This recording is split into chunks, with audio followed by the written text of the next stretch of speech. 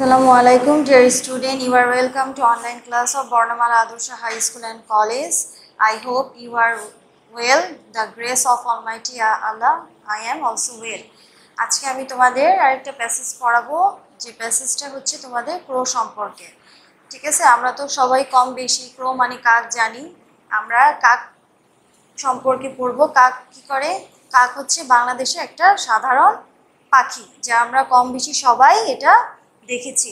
আচ্ছা এখন আমরা প্যাসেজে চলে যাই। তোমরা মনোযোগ দিয়ে শুনবা, আমি যেভাবে পড়ি, ঠিক সেভাবে বাসায় চেষ্টা করবা। ঠিক আছে? কি বলছে? দেখো I am A crow I হচ্ছে আমি ক্রো মানে হচ্ছে কাক। এম মানে হই, ঠিক আছে? এ মানে হচ্ছে একটি। তাহলে কি হলো? আই অ্যাম এ ক্রো আমি একটি কাক। I live in a tree live মানে হচ্ছে বাস করা ট্রি মানে হচ্ছে গাছ। তাহলে পুরো সেন্টেন্সটার অর্থ কি হলো? I live in a tree আমি গাছে বাস করি। I get up early in the morning get up মানে তো জানোই, আগের প্যাসেজে তোমার পড়ছিলা জেগে ওঠা। আর্লি মানে হচ্ছে সকাল সকাল দ্যাট মিনস তাড়াতাড়ি। মর্নিং মানে হচ্ছে সকাল। তাহলে কি হলো? I get up early in the morning আমি খুব সকাল ঘুম থেকে উঠি বা খুব ভোরে ঘুম থেকে উঠি। I am active all day active মানে হচ্ছে কর্মঠ অল ডে মানে হচ্ছে সারা দিন।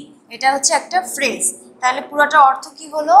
I am active all day মানে আমি সারাদিন কর্মঠ থাকি বা সারাদিন ব্যস্ত থাকি। I fly in the sky fly মানে হচ্ছে ওরা I fly in the sky fly মানে হচ্ছে ওরা স্কাই মানে হচ্ছে আকাশ। I fly in the sky মানে আমি আকাশে উড়ি and look for food look for হচ্ছে খোঁজা, এটাও একটা ফ্রেজ আর ফুড মানে হচ্ছে কি, খাদ্য। তার মানে কি, আমি আকাশে উড়ি এবং খাবার খুঁজি। সামটাইমস সামটাইমস অর্থ মাঝে মাঝে I take food from people take মানে নেওয়া ফুড মানে খাদ্য ফ্রম মানে ফ্রম হচ্ছে হতে বা থেকে পিপল মানে হচ্ছে লোকজন। তাহলে পুরো সেন্টেন্সের অর্থ কি হলো? Sometimes I take food from people মাঝে মাঝে আমি লোকেদের কাছ থেকে খাবার ছিনিয়ে নিই। আচ্ছা I am very quick very মানে খুব কুইক মানে হচ্ছে তাড়াতাড়ি। আমি খুবই কি? তাড়াতাড়ি মানে দ্রুতর। সামটাইমস মাঝে মাঝে I eat dirty things dirty মানে হচ্ছে নোংরা থিংস মানে জিনিস। ইট মানে খাওয়া। মানে মাঝে মাঝে আমি নোংরা খাবার খাই। আচ্ছা এই প্যাসেজটার কোনো সব প্রত্যেকটা ওয়ার্ড কিন্তু আমি বলে দিছি, তোমরা ঠিক এভাবে পড়বা। এখন আরও সুবিধার জন্য আমি কতগুলো ওয়ার্ড মিনিংও লিখে দিছি, সেগুলো আগে পড়ে নিয়ে যদি প্যাসেজটা পড়ো, তোমাদের জন্য আরও সুবিধা হবে, ঠিক আছে? এখন দেখো ক্রো অর্থ কি? কার? লিভ মানে হচ্ছে বাস করা, ট্রি মানে হচ্ছে গাছ, ফ্রম মানে হতে অথবা থেকে, যে কোনো একটা দিলেই হবে। গেট আপ মানে হচ্ছে জেগে ওঠা আর্লি মানে তাড়াতাড়ি বা সকাল সকাল। মর্নিং মানে হচ্ছে সকাল অ্যাক্টিভ মানে হচ্ছে কর্মঠ বা ব্যস্ত, যেটা বলো একই। অল ডে হচ্ছে সারাদিন। ফ্লাই মানে হচ্ছে ওরা স্কাই অর্থ আকাশ। ফুড মানে খাদ্য। সামটাইমস মানে মাঝে মাঝে পিপল মানে লোকজন। কুইক মানে দ্রুত। ইট মানে খাওয়া খাওয়া। ডার্টি হচ্ছে নোংরা। লুক ফর খোঁজা। টেক মানে নেওয়া, ঠিক আছে? বুঝতে পারছ? ঠিক এভাবে প্যাসেজটা পড়ব ওয়ার্ড মিনিংগুলো শিখে নিবা। তাহলে তোমাদের ম্যাচিং করতেও সুবিধা হবে ট্রু ফলসও সুবিধা হবে, এমনকি প্রশ্ন উত্তরও তোমরা খুব সহজেই লিখতে পারবা। আমাদের কি আসবে? Match the giving words with their meanings মানে কলাম এ কলাম বি এর সাথে তুমি ওয়ার্ডগুলো মিলিয়ে মিল করবা, ঠিক আছে? ওয়ার্ডের সাথে মিলিয়ে। ট্রি ট্রি অর্থ হচ্ছে কি? গাছ। আর্লি তাড়াতাড়ি বা সকাল সকাল লুক ফর হচ্ছে খোঁজা সামটাইমস হচ্ছে মাঝে মাঝে ডার্টি হচ্ছে নোংরা। এখন দেখো ট্রির সাথে এখানে কি? আগে আমার এখানে অর্থগুলো জানতে হবে। ফাইন্ড আউট বাই সিকিং মানে কোনো কিছু খুঁজে বের করা। Thing which is not clean যে জিনিস কি পরিষ্কার নয়। যেহেতু নট বলছে মানে ক্লিন মানে পরিষ্কার, আর নট বলতে মানে পরিষ্কার না। তার মানে যে জিনিসটা পরিষ্কার নয়। A tall plant that can live a long time যে উদ্ভিদ কি দীর্ঘদিন যাবৎ বেঁচে থাকে? ঠিক আছে, লম্বা, যে ধরনের লম্বা উদ্ভিদ দীর্ঘদিন বেঁচে থাকে। Thing which is not foul যে জিনিসকে পরিষ্কার নোংরা নয়। Before the usual time before হচ্ছে পূর্বে ইউজুয়াল মানে সাধারণ টাইম মানে সময়। মানে সাধারণ সময়ের পূর্বে বা আগে। অ্যাভয়েড এনিথিং ফর নাথিং অকারণে কোনো কিছু পরিহার করা নাও অ্যান্ড দেন এটা হচ্ছে মাঝে মাঝে, এটাও একটা ফ্রেজ এখন দেখো কোনটার সাথে কোনটা মিলবে। ট্রি অর্থ হচ্ছে গাছ। তাহলে এটার সাথে কি মিলে? এটা। A tall plant that can live a long time দীর্ঘদিন যাবৎ যে লম্বা উদ্ভিদ বেঁচে থাকে, সেটা কি বৃক্ষ না? আচ্ছা তাহলে এটার সাথে হচ্ছে এটা। আর্লি অর্থ কি? সকাল সকাল। তার মানে কি? খুব ভোর, যেটা সাধারণ টাইমের আগে। তাহলে আর্লিটা কি হবে? বিফোর দ্য ইউজুয়াল টাইম আচ্ছা লুক ফর মানে হচ্ছে খোঁজা। খোঁজাটা তাহলে কি হবে? প্রথমটা ফার্স্ট যেটা আছে ফাইন্ড আউট বাই সিকিং মানে খুঁজে বের করা। সামটাইমস হচ্ছে মাঝে মাঝে। মাঝে মাঝে কি হবে তাহলে? নাও অ্যান্ড দেন মাঝে মাঝে। ডার্টি মানে কি? নোংরা। নোংরা কি হবে? যে জিনিস পরিষ্কার নয়, তাহলে ডার্টি হবে কি? Thing which is not clean বুঝতে পারছ? এটা আমি তোমাদের বোঝার জন্য দিছি, কিন্তু তোমরা যখন লিখবা, তখন ট্রি দিয়ে একটা হাইফেন দিয়ে তারপরে এই জিনিসটা লিখে দিবা। বুঝতে পারছ? আমাদের দুই নাম্বারে কি থাকবে? ট্রু আর ফলস তোমাদের আগে বলছি, যদি সেন্টেন্সটা কারেক্ট হয় তাহলে ট্রু আর যদি সেন্টেন্সটা ইনকারেক্ট হয়, তাহলে সেখানে তোমরা ফলস লিখবা। এখন দেখো, এটাও তোমাদের প্যাসেজের উপর নিয়ে ভিত্তি করেই লিখতে হবে। কি বলছে? দেখো এই নাম্বারে কি আছে? The crow lives in a hole. Hole মানে হচ্ছে গর্ত। তাহলে কি হলো? কাক কোথায় বাস করে? গর্তে বাস করে। কাক কি গর্তে বাস করে? অবশ্যই না, আমরা প্যাসেজে কি পড়ছিলাম? কাক কোথায় বাস করে? ট্রি গাছে তাহলে এটা কি হবে? যেহেতু ইনকারেক্ট সেন্টেন্সটা তাহলে আমাদের কি লিখতে হবে? ফলস ঠিক আছে? আচ্ছা দুই নাম্বারটা কি গেল? The crow gets up early in the morning কাক খুব সকালে ঘুম থেকে ওঠে। এটা ট্রু না ফলস অবশ্যই ট্রু কারণ প্যাসেজে দেওয়া ছিল, কাক খুব সকালে ঘুম থেকে ওঠে। যেহেতু সেন্টেন্সটা কারেক্ট তাহলে আমরা এটা কি লিখব? ট্রু লিখব। আচ্ছা তিন নাম্বার কি বলছে?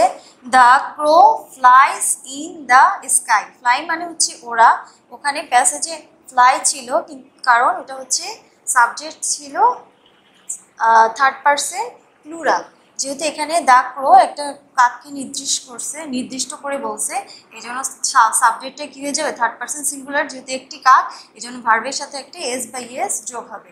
ওয়াইটা উঠে গিয়ে আই এস যোগ হয়েছে। আচ্ছা ঠিক আছে। The crow flies in the sky crow কাক আকাশে ওড়ে। তাহলে কি এটা সত্য না? তাহলে এটা কি হবে? যেহেতু কারেক্ট তাহলে ট্রু লিখবা। আচ্ছা এরপরে কি বলছে? The crow is lazy all the day all the day মানে হচ্ছে সারাদিন। লেজি মানে অলস। কাক কি সারাদিন অলস থাকে? অবশ্যই না। কারণ প্যাসেজে ছিল the crow is active all the day ব্যস্ত থাকে সারাদিন। অতএব লেজি বলছে, তাহলে কারেক্ট সেন্টেন্সটা ইনকারেক্ট তাহলে এটা কি লিখব আমরা? ফলস লিখব। ঠিক আছে? বুঝতে পারছ? এবার ই নাম্বার আসো। The crow eats dirty things dirty মানে নোংরা থিংস মানে জিনিস। কাক নোংরা খাবার খায়। অবশ্যই খায়। তাহলে এটা কি? ট্রু বুঝতে পারছ? এভাবে পরীক্ষা লিখবা, সুন্দর করে লিখবা, যাতে স্যাররা বুঝতে পারে। আচ্ছা তিন নম্বরে কি থাকবে আমাদের? আনসার দ্য ফলোয়িং কোশ্চেন ঠিক আছে? প্রশ্ন থাকবে, এই প্রশ্নগুলো উত্তর দিতে হবে প্যাসেজ থেকে নিয়ে। আচ্ছা প্রথমে কি বলছে দেখো হোয়ার ডাস এ ক্রো লিভ ক্রো মানে কাক, কোথায় বাস করে? হোয়ার মানে হচ্ছে কোথায়? যখন কোনো স্থান বুঝাবে, তখন প্রশ্ন কি করতে হবে? হোয়ার আনতে হবে। তাহলে হোয়ার ডাস এ ক্রো লিভস কাক কোথায় বাস করে? তাহলে কি লিখবা? এ ক্রো লিভস, যেহেতু ডাজ আছে, ভার্বের সাথে একটি এস যোগ হবে। A crow lives in a tree. টিকা কি করে? গাছে বাস করে। দুই নম্বরে আসো।